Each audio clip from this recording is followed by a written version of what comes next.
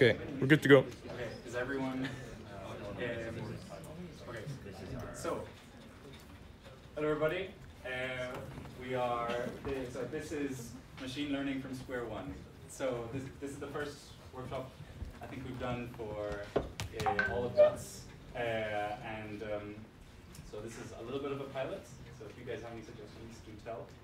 Uh, also, if like the links aren't working, um, Yusuf over there is like Just uh, shout yeah, or just raise shout. your hand. We can all hear each other. Um, so uh, we're going to be working with Google Colab. Uh, if any of you have worked with that before, it's basically an online Python environment uh, with the GPU available. Nice people at Google basically supply that for free. Uh, so if you all go to this link, you'll see the dis- uh, go to the Discord, uh, and the Discord has the link to the Colab, uh, and you should then be able to uh, open it in the playground uh, and everything. That'll that all comes later. We're gonna go through a little bit. Uh, we're gonna go through Colab itself, which is right here. This is what you should So see. you think it's worth getting the instructional form, right? And then we're going to, uh, then the, essentially, we're gonna do more or less around an hour, hour and a half of just doing some stuff on the whiteboard. Then the, the last hour is going to be, uh, every, everyone just gets a chance to like work with the Colab themselves and maybe tweak it. So everything the Colab should work out of the box, just executing one cell after the other. Uh, and the whole idea is that you guys can print everything, um, guys can like switch, uh, add, change, add a new data set, do anything you want. Uh, and then we'll try and like accommodate you guys and, and, and help where, where it's needed. Uh, so if we just start off, um, the idea of uh, machine learning from square one is to try and understand every, uh, uh, try and understand machine learning from the basics, and then quickly move up uh, to actually building our uh, building models and everything uh, for our own ideas. Maybe because I'm sure everyone's seen the the standard. Here's build, build a state-of-the-art model in three lines. It's pretty. It's pretty like that's really that's really cool, but it's pretty difficult to like modify those three lines to do something that you actually might want to do from, from scratch.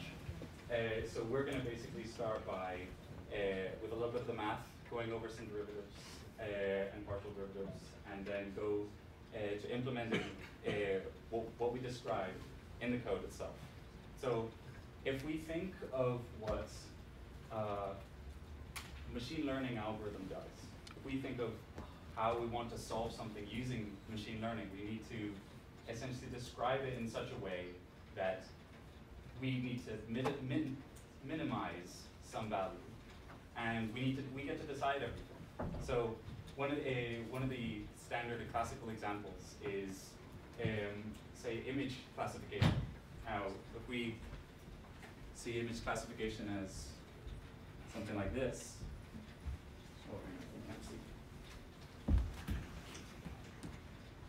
So image classification is simply the task of taking an image and then classifying it according to a set number of categories that we give it to, and then we simply say, okay, out of all these 10 uh, categories, so like, for example, this represents, or 0, 1, 2, 9, like this, we essentially want to describe like probability distribution. Say, for example, it's probability 0 that this image right here is a 0. So probability 0 and stuff. And then we come over here to number 7 and we say like probability this is like 0.99 something like that's this is essentially what classification is.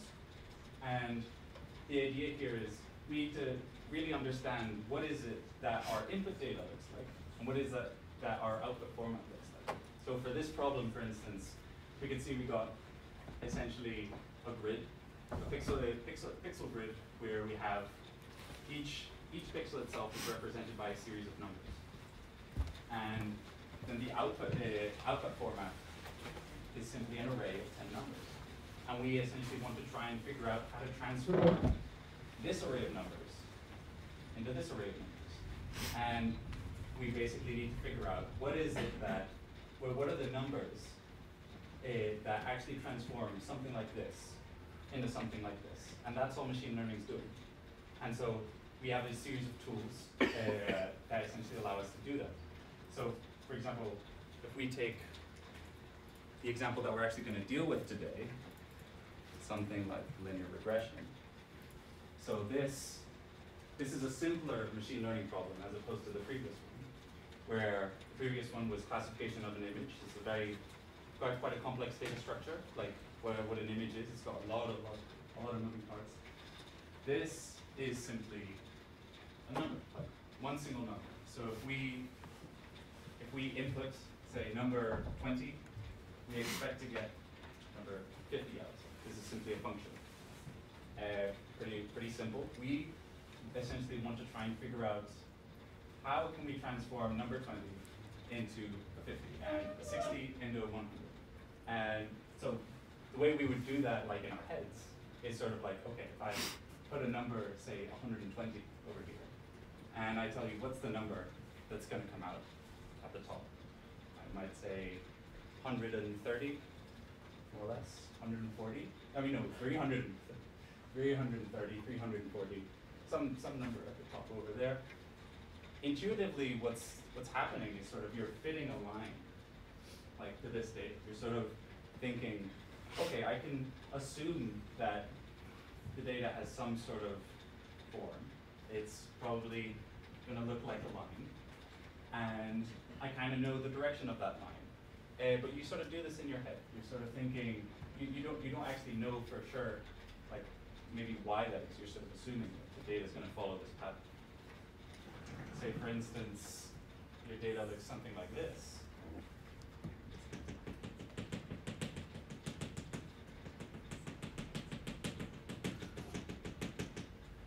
Then be a different curve. Uh, this, for example, a line here any kind of line that you describe is probably not going to describe this part very well. So we kind of need to make some assumptions on the way our data looks moment. So we're sort of assuming the model is a line, and we essentially need to figure out what are the numbers that, uh, that work for this line. So what we can do is say, okay, let's start with some random numbers that describe our line. So if our if our data is this,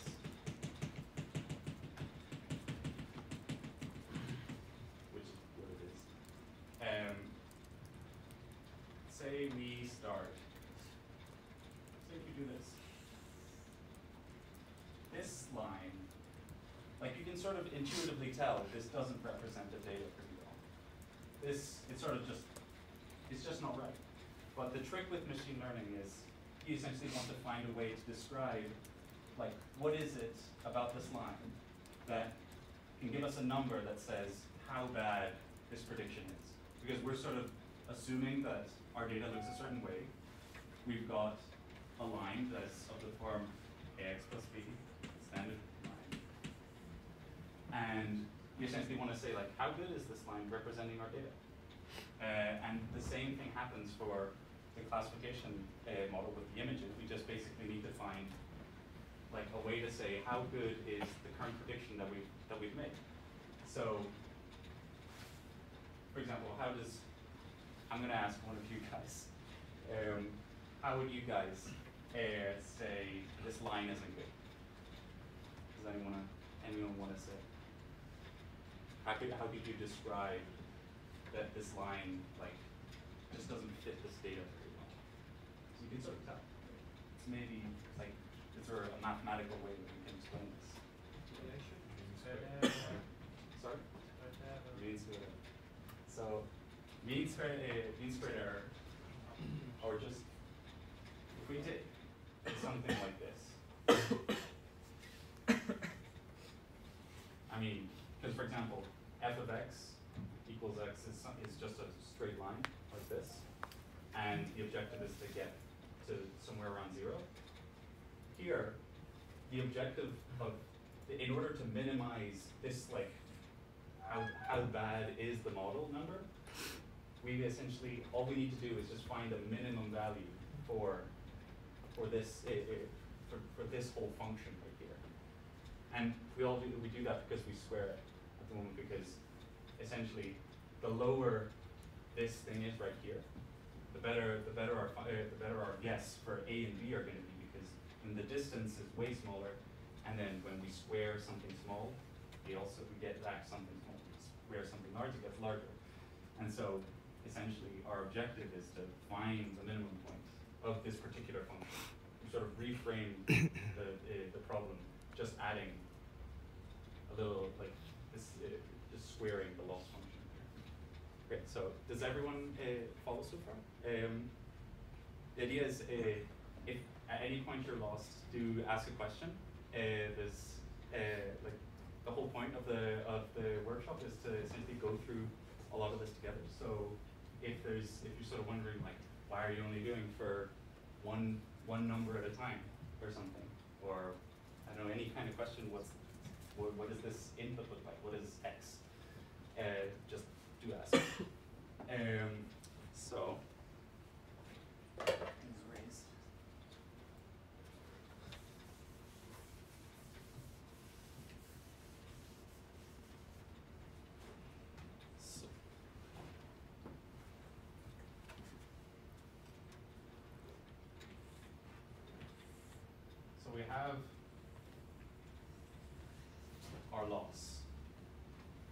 this tells us how bad, how bad we're doing. Say, for instance, we choose, uh, let's, let's, actually, let's actually choose a, about, uh, a, go through what it looks like to compute something like a loss. So let's go with our initial estimates of minus 3 and negative 2. So say, for instance, so a equals negative 3 We're sort of like bam, initialized our model from scratch. Um, and we don't know if these values are any good or not, so let's go through one single forward pass of what it looks like to go through this model. So our model to calculate this loss value is this function right here. So say we look at our graph, we'll pick a point, say this one, so 20 and 50. So y equals 50, x equals 20. So our loss, we're going to change instead of distance to loss. The loss is equal to y, which is 50, minus a, which is negative 3, times uh, x, which is 20, plus b, which is negative 2.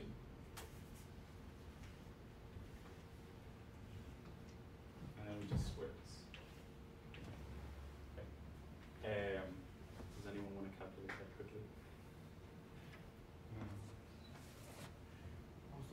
Got this negative 16 uh, minus 2, One hundred 62. Sorry? I think it's about how job.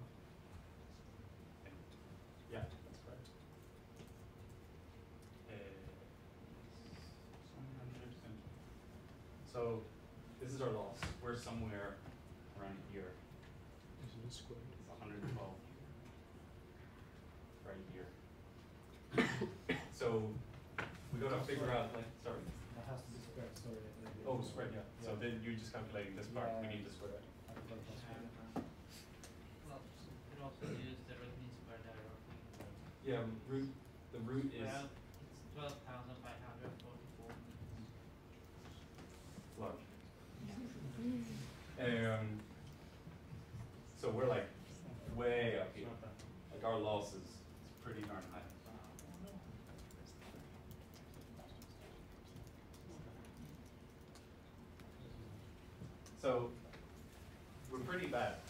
3 and negative 2 suck. This is a bad estimate. Um, we need to figure out a way to make these numbers better.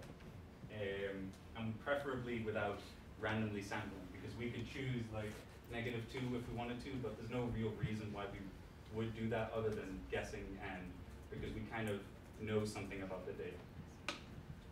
So how do we compute analytically where, like, uh, how do we compute which direction to take both A and B?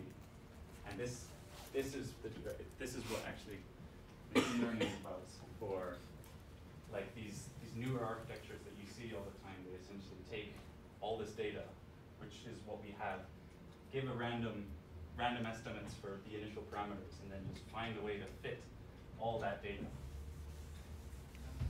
So.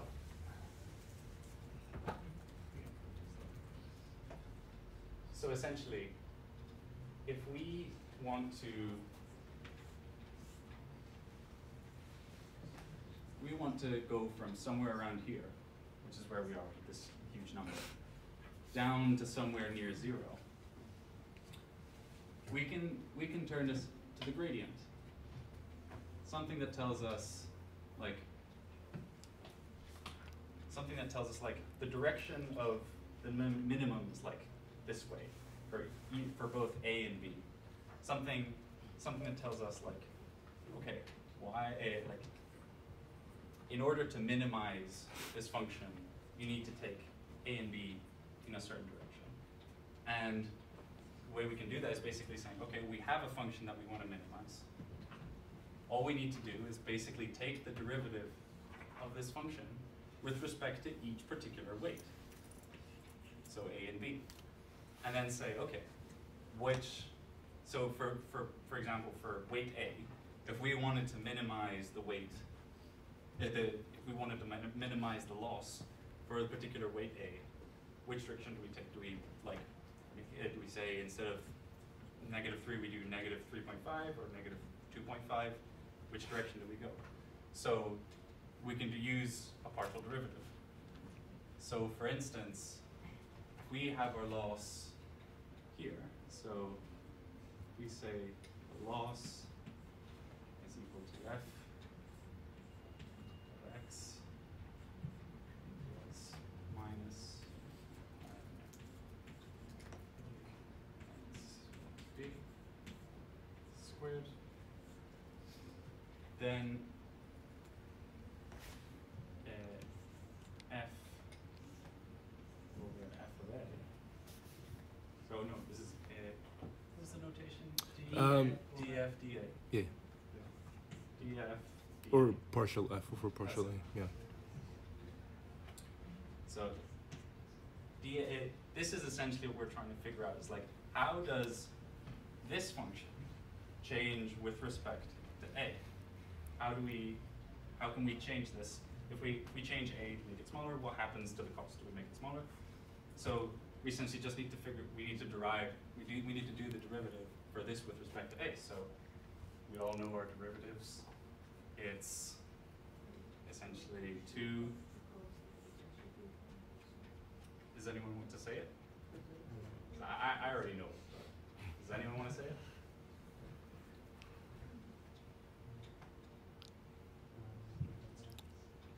y minus ax plus b.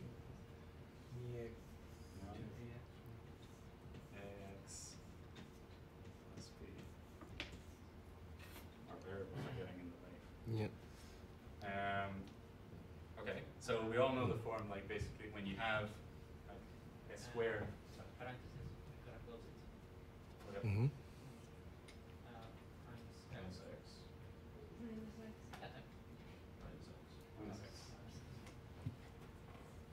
minus x. Okay, does, does everyone see why? So the way we do this is essentially, we want to find the derivative of this, so we do, because it's because this is a quadratic function, we just simply bring the power to the front, reduce the power of, of this middle bit. So that's what this is, this is simply a copy of this. And then we essentially need to do the derivative of the inner part right here. So that's what this part is. And so with respect to A, y does not change with respect to A. Um, negative ax does change with respect to A because there's, the A is right here, so we essentially do negative A. The gradient is gonna be negative x. And then B doesn't actually have any influence. Like if A changes, B is, B has no part in that. So it, so essentially, we can just ignore it the same way we ignored Y. So we just come up with this, with this function right here. So a little bit of simplification, uh, two x, uh, ax plus b minus So now we essentially have like the function that tells us, okay, what's the di- what's the direction, what's the gradient with respect to a for this particular loss? We're up here. How how does that how does a change that? So if we plug in our numbers right here for which we're which we already have, say actually these numbers are huge. Let's let's change this. Let's change this to uh, y equals one, and x equals one. and a equals negative one. and b equals, yeah, let's do negative two or something. This is fine. So far point, so if we're we're on our plane like this, x and y is this point right here. Actually, you this? Like this. This is y, this is x. And our line that's being described right now is offset negative two, right here, with direction with direction of a gradient of negative one, so it's something like this. Right? This is what our function looks like. This is not a very good function. This, this approximation isn't very good. Because essentially our function, if we, if we give x right here, it's gonna tell us it's some negative number when in reality it's, what we're looking for is one. So we essentially wanna find a way to tell this line to go up in some way. So we already know how to change a, so the gradient right here, eh, which is negative one, we just need to plug in our numbers here. So the gradient is going to be two x, which is one. So two times one times a, which is negative one, uh, times x, which is one,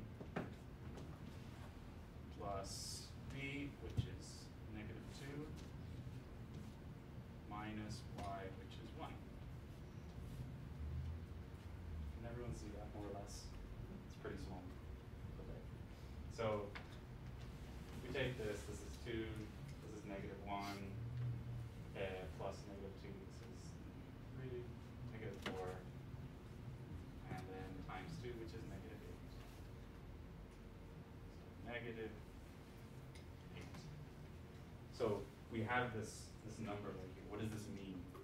Okay, what is, so we have negative a, how does, we have our loss function, and we're saying, if you, it, like, the direction that, or the gradient that a has with respect to what this function represents is negative eight.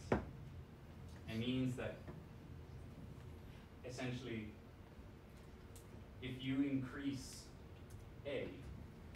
the loss is going to be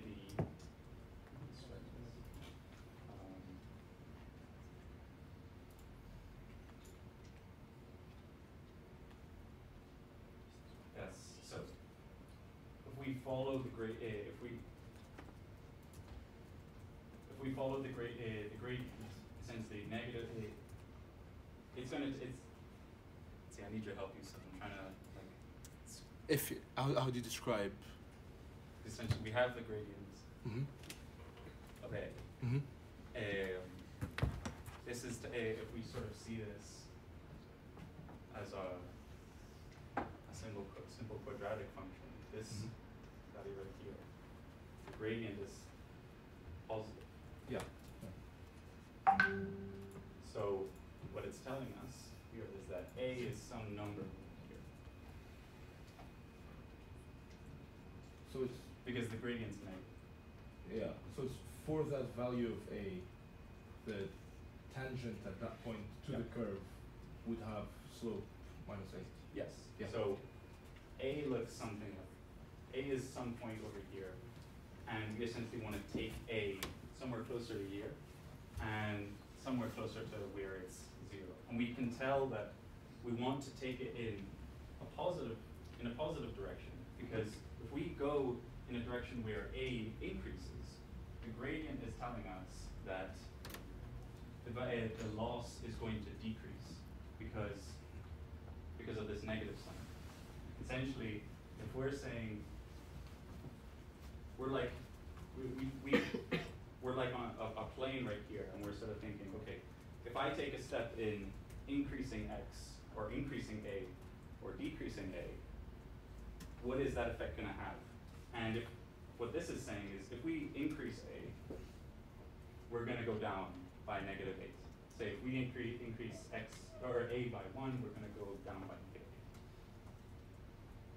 So, essentially, we want to, we want to follow, we want to, uh, we want to follow this, we want to try and increase A to, to, to actually benefit from this, to benefit from the fact that we're going down a slope, as this gradient is telling us. So, what we do is we can simply say A is equal to whatever A was before, plus, uh, I mean, minus the gradient.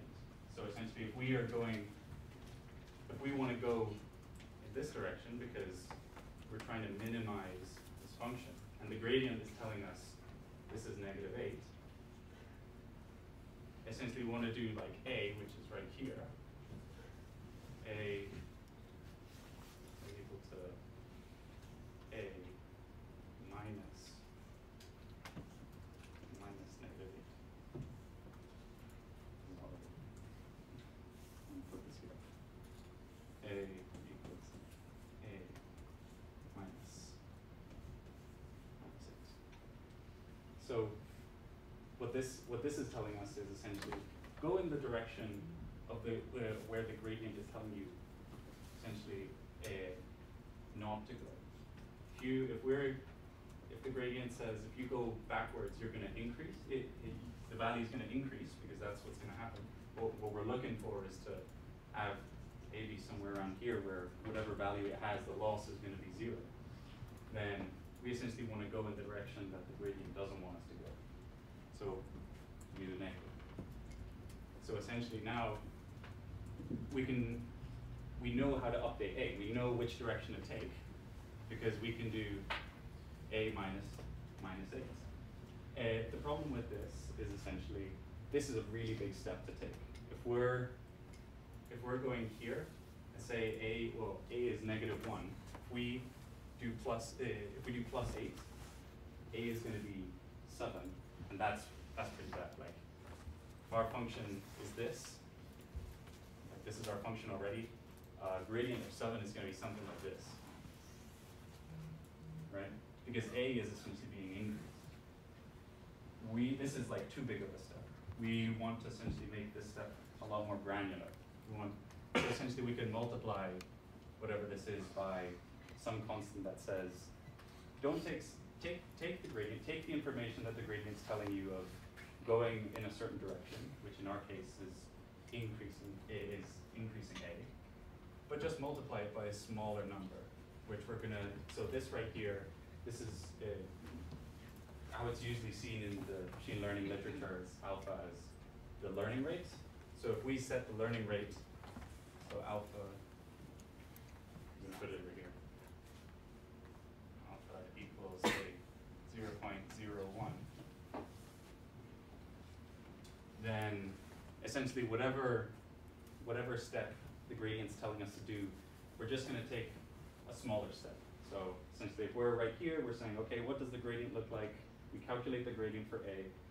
Gradient's telling us to make it to increase A if we want to make the loss smaller. So instead of taking a really big step, confident step in that direction, we're just taking a small step. And then what this has is we're basically going from here to here. Like this. Because if we increase A way too much, then we could go over here or here or something. And it's just getting worse. So it's better to go just little by little. So with this learning rate right here, we just take small, small steps in the direction that the gradient's taking us. And then hopefully we'll arrive at a place where A is actually a pretty good approximation to a, uh, to what the actual value that describes the data is. So essentially, if we apply this, apply our formula essentially now, so A, which was originally one, A is now equal to one minus, Minus one. yes, we're gonna be plus eight, multiplied by zero point zero one,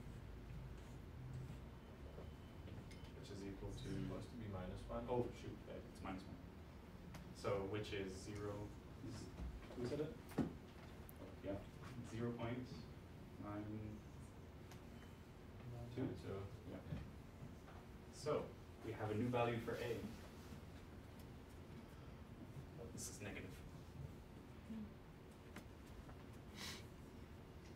Zero point nine two. We have an update for A. And what does that look like for our model now? So essentially, instead of it being negative one, our gra- our line, instead of looking like this, now looks like this. Which kind of makes sense, like the gradient is just a little bit smaller than one, so you can see like this data point has influenced our model in such a way that it's gonna get closer to it. And the reason we've done that is because we know which direction to change the gradient in order to get closer to this particular value. Because as we described, like the way we're defining our loss is through the distance between this value and this value. So if the distance is large, the loss is large. If the distance is small, we're doing a pretty good job. And so the gradient is essentially telling us information. In order to make this distance smaller, you need to change A in such a way that it increases. So we have. So if we were to do the same thing for B, right, we'll just, this will be our last example. I'll do it over here.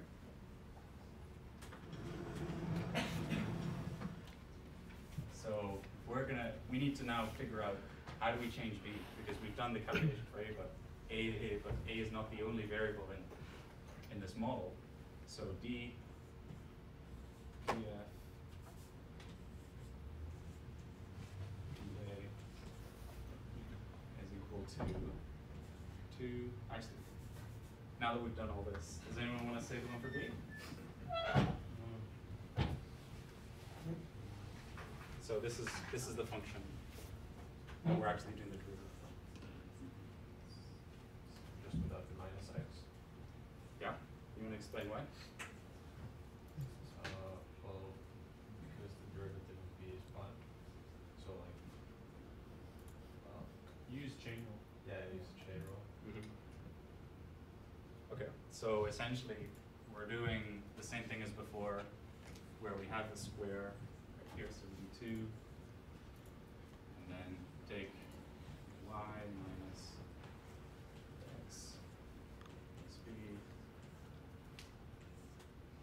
And then we just take the derivative of this inner part with respect to b. And y doesn't depend, b, y, do- this, this operation right here doesn't depend on b, this doesn't depend on b, this part does, and the derivative of b is one. So we just do negative one, I think, is that right? Yes. Mhm. Um, is that the derivative of f with respect to b? Oh, shoot. Yeah. B. This one. So this is our derivative. This is how we need to change b to, or actually no, this is not how we need to change it. This is simply going to tell us some information on how do we change b in such a way that the model gets better. So we can do our calculation. First one to do it wins.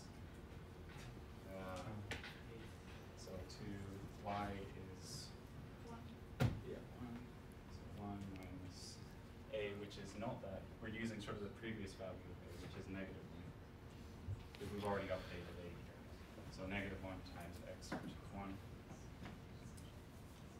One plus b, which is one. No. Negative two. Negative two times negative one. And this is gonna give us, so negative one, two is negative three, uh, one is negative three is negative two, uh, times two is negative four. And this is telling us, see, is that correct? Is- Is it four? I think it's negative eight. Yeah, it's 1 minus negative 3 is 4, multiplied by 2 is 8, then multiplied by minus 1. So it's One, so- negative eight again. Okay. So Yeah, now we have now we have our gradient information, we have, we have essentially scoped the area and said, okay, for B, which direction should I take to go, should I step forwards or backwards, and eight is telling us, if you increase, A if you increase B, uh, the value for the loss is gonna go down, because it's negative, essentially, it's like a slope that's going this way, so we wanna follow that. So B equals B minus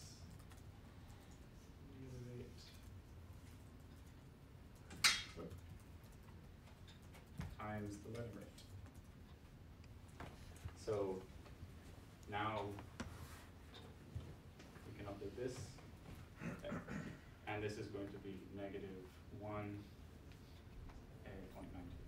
I think that's right. So now our second update, our update for our next variable is now changing this line to this line, because we've sort of increased this by a little bit. Right, we've sort of pushed this number up because b is no longer negative two, it's this actually, it's like way different.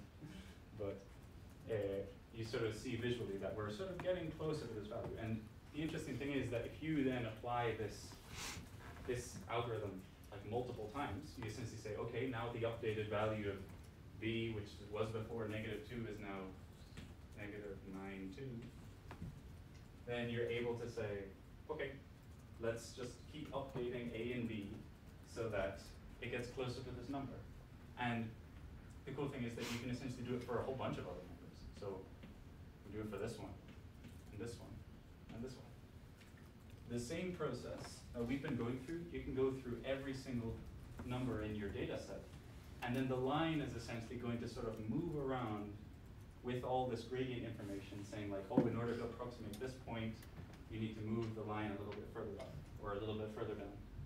And this is, and essentially this is what our, uh, our machine learning is doing for us. It's basically taking some random values that we were, that we originally said, like, this, this is our initial state of the model, and then we're passing data through it, and essentially making it so that our loss is as small as possible. So there's a lot of different factors going on. There's our model itself, which essentially describes how we're going to transform the input data. Right? You can sort of see that, for example, x right here is a number. Uh, it's just a scalar value. Uh, but in the case of the images, x right here is an image, and a is essentially a. We essentially need get to choose how do we transform x in such a way that it's that, we can compare it and say how good a prediction that is. So we're sort of assuming right here that that it's a line. So this is our model. This is our criteria to decide if our uh, if, if our prediction is any good. And then all we're doing is minimizing. We're just trying, we're saying, how do we change these values so that they minimize? And the reason we're changing A and B is because X and Y are sort of set. Because we, because it, X and Y are sort of the ground truth values which we actually want to try and approximate. That's the map. So now we get to implement it in code. This is this is the next part. Okay. Um, does everyone uh, uh, how how does everyone feel about this? Does it, uh, you like be able to uh, actually do you think of it like do you have an intuitive understanding about it? Uh, is there something that maybe wasn't super clear? Like maybe this uh, I don't know like what does the gradient actually mean? Uh, that sort of thing. Does anyone have any questions? Why don't we just calculate the minimum directly?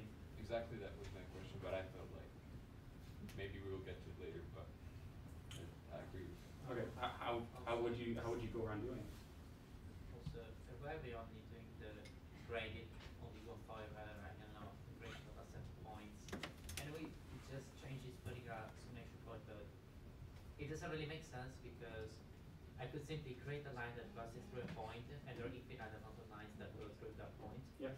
Whereas it is only one line that goes through two points, and possibly one or no lines that go through three points. So it makes sense that I'm a gradient descent on the case, well, but it doesn't make also sense you're totally right in the sense that, like, for example, if we do gradient descent on a line that looks like this, this is our point that we're looking for. We do gradient descent on this, then A, the gradient for A is gonna be zero, because it's gonna be like, no matter, like, there's no point in changing A, A is pretty good. Uh, and it's, and like, for B, it's also gonna be zero, because it's essentially gonna say like, for this point, like, you're good, there's no problem. But then, for this point right here, there's gonna be an error, so essentially, it's gonna move the line up a little bit. So, the reason we're doing it with one point at the moment is because it's sort of easier to visualize what's going on. Like, imagine instead of A being a number, A is an array of like a hundred numbers. This whole whiteboard is just chaos full of numbers. It's pretty pretty tough to sort of visualize that. But the the idea of doing it with num uh, with like an array of numbers where you do multiple at the same time. So essentially you grab like you essentially pass uh, x, which could be like one, four, two, and then. Y would be, uh, I don't know, two, four, no, one, two, eight, and four. I think. Then this is this this the same operation, the same things happen. Like you essentially calculate the gradient for each one of these pairs, like this. And then all you need to do is then simply sum it, like sum all the gradients together, average them together, and then you've got sort of a direction that suits all the points more or less. It's sort of a compromise. Essentially, you are taking like, okay, out of all these points, which in this case is three, which one, like, which direction should I take in so that it satisfies most of them, more or less? And so essentially you do, you you do the, you do the derivative, uh, you calculate the derivative for A and B for each one of these, and like this one will tell you like, A should be moved to like plus zero point one, and A should be moved plus, I don't know, zero point four. Uh, and essentially here you just find a compromise and say plus zero point two. Um, so the overall gradient is the same. You're applying the same operation to A. You're simply doing it for multiple points. And that in effect, that's exactly what a batch is. Here we're, uh, we're doing it for a batch size of one. Is everyone familiar with what a batch is? No? Okay. Batch is simply, instead of grabbing one, one point at a time, one sample, uh, you're simply doing this whole like gradient descent process for maybe ten samples at a time. And then for those ten samples, you calculate the gradient for each one of them, and then you average the gradient together. So if for one of these, uh, if for one sample, the gradient's telling you move, move this way, and then for another sample, the gradient's telling you move this way, then you gotta decide like, which, which way do I go? But these samples are telling me conflicting, uh, conflicting places, so, directions, so you say, okay, I'm gonna move in this direction. And that's what you do, you simply take the average for the gradient of each one of these. And that's, that's all the batch is. So, that's, actually, a good question, because we actually get to play with batches. Yes? I'm not understood exactly why, when you have calculated the partial derivative of f with respect to b, you also took a as minus one and not the next value as minus zero point two. The reason we're doing that is because we're sort of considering the updates of A and B as happening in parallel. Exactly, so for example, in theory, in reality, you know what, you sort of come up with a state of your model. A is equal to negative one, B is equal to negative one, mm-hmm. no, negative two. Uh, and you essentially say, okay, for this snapshot of the model, what, what the, which directions do I take for each gradient? Like for, for each, for each, what's the gradient for each value? And then you know what A is. But then if you, if you did them like one after the other, you could, you could do that, but then it's sort of like conflicting information because maybe imagine a like you, your your your uh, learning rate is like really high and a tells you uh, change the, the gradient. Instead of being like this ch- tells you change the gradient to this. And then b is gonna uh, uh, like it'll move you like b will say okay you need to move down. Like take you over here. It's sort of like there's too many there's it would sort of there's no, there's too much going on. So essentially if you just take a small step with like all the gradients sort of fixed and then you say okay I'm gonna update each gradient each each each weight according to what the gradient's telling me then you're sort of taking small steps towards the actual towards the what the minimum is here good question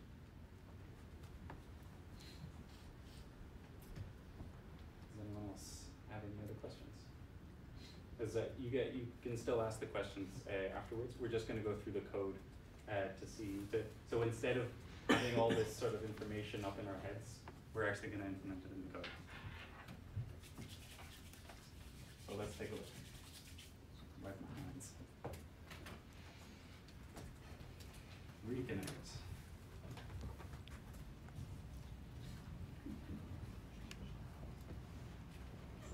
Is there a link for the, Yeah, it's on Discord. Um, you can see it here. This is a dot.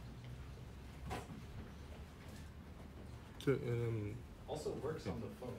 Its experience isn't very good, but it does work on the phone.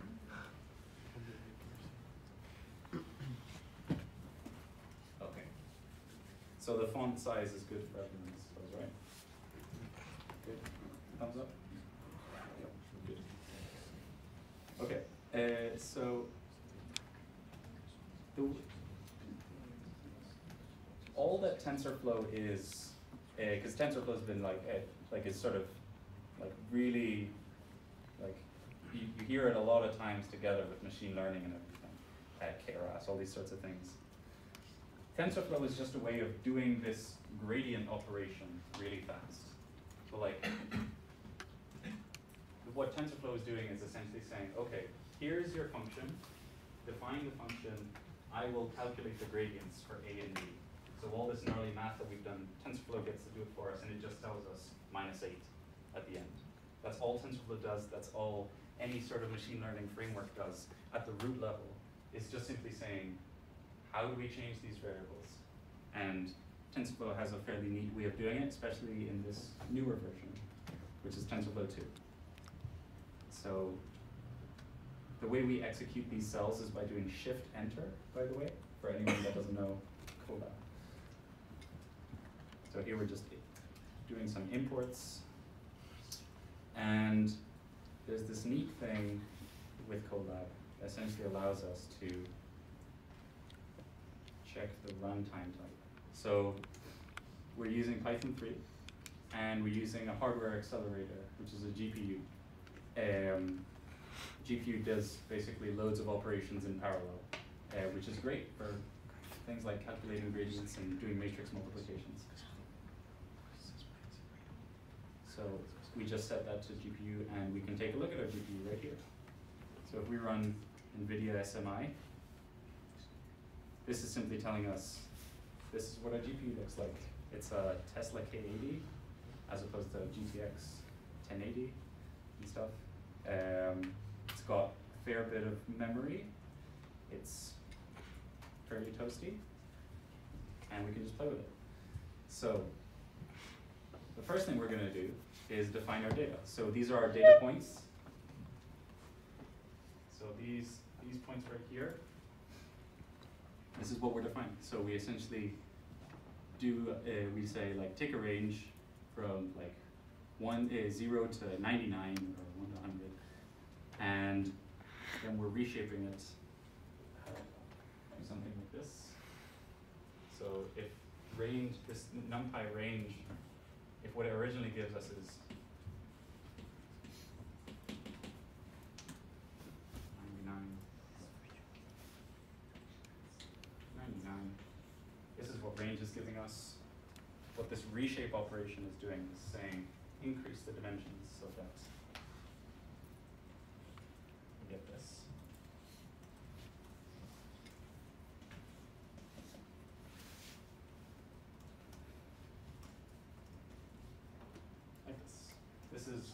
this is what x looks like for us. Basically an array of arrays where every single number is uh, a value for x. And then y is essentially the same thing, only that we're essentially applying what is our ground truth a. So a, it- what the real value of a is going to be is three, and what the real value of b is going to be is four. And here we're just applying a little bit of noise right here. So this is just an, instead of having it like be a totally straight line, which would be very easy for a model to like sort of uh, try and fit, we're sort of making it the lots of this. That, and that's why that's why our line uh, our points don't look super uniform. So if we execute this, we can plot it. Our data looks like this. So now x looks like this, y is another version where it's times three plus four, so y is gonna be seven, and so on. These are our number pairs. So the next thing is, okay, so this is, so now that we've defined our data, we can play a little bit of, uh, play a little bit with how TensorFlow computes gradients, how TensorFlow does all the fancy math that we've been doing around here. And one way of seeing this is essentially by actually computing the gradient for a specific function. So say we have a function y equals x squared. I'm gonna erase a bunch of stuff.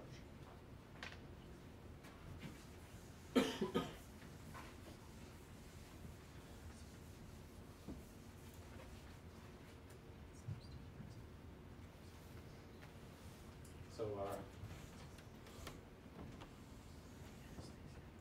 so this is our function, and we're saying x is gonna be some value ten.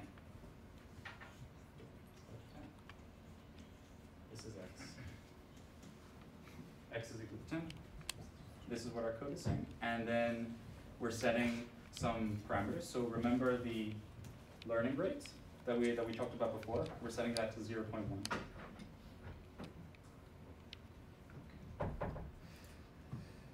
So now essentially we've got our we've got the function that we're describing here.